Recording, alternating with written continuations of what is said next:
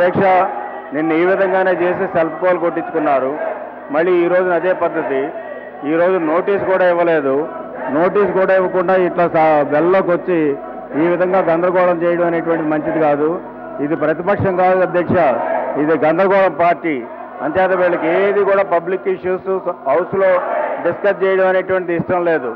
ఒకవేళ public issues కానీ discuss చేస్తే వీళ్ళ బండారం అంతా బయటపడుతుంది అనే భయంతో నిన్న కూడా క్వశ్చన్ అవర్ కట్టుకున్నారు. నిన్న స్టేట్మెంట్ ఇస్తే స్టేట్మెంట్ కట్టుకున్నారు. మిగతా బిజినెస్ కట్టుకున్నారు. మళ్ళీ వేళ కూడా ఈ మేము క్వశ్చన్ అవర్ ఈ వేళ మెంబర్స్ అందరికీ సంబంధించినటువంటి క్వశ్చన్స్ చాలా ఇంపార్టెంట్ క్వశ్చన్స్ ఉన్నాయి. ఆల్ మెంబర్స్ వేసినటువంటి క్వశ్చన్స్ ఆ క్వశ్చన్ అవర్ని కూడా అడ్డుకునేటువంటి పరిస్థితి.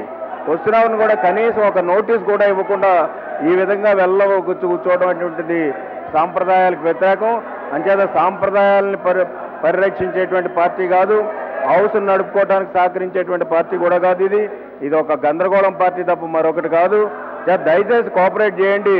వస్తున్నావు రావగానే మళ్ళీ స్టేట్మెంట్ స్టేట్మెంట్ ఏదైతే ఇన్కంప్లీట్గా ఉందో ఆ స్టేట్మెంట్ ఇస్తారు. దాని మీద మీరు డిబేట్ చేయండి. దానికి తగ్గట్టుగా మేము ఆన్సర్ కూడా చెప్తాం. అంతే అధ్యక్షత ఏదైతే ఈ రోజున ఈ రోజున వీళ్ళు చేస్తున్నటువంటి గందరగోళం అంతా కూడా ప్రజలు చూస్తున్నారు. ప్రజలు వీళ్ళకి సరి అయినటువంటి గుణపాఠం చెప్తారు. ఇప్పటికే మీకు ప్రతిపక్షంగా కూర్చోబెట్టారు. ఆ ప్రతిపక్షంగా కూర్చున్నందుకు కూడా విలువ లేకుండా మీరు ప్రవర్తించడం అనేటువంటి మంచి సాంప్రదాయం కాదు.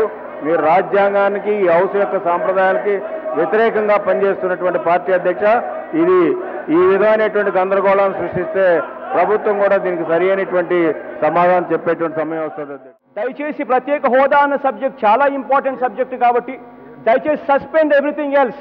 Start off with ప్రత్యేక హోదా మీద డిస్కషన్. ఆయన స్టేట్మెంట్ చదవని చదవమని చెప్పండి. ఆయన స్టేట్మెంట్ పూర్తి చేసేయండి. పూర్తి చేసేసిన తర్వాత దాని మీద చర్చ లేకపోదాం ఈ టాపిక్ అయిపోయిన తర్వాతనే మిగిలిన ఏ టాపిక్ అయినా పట్టుకుందాం.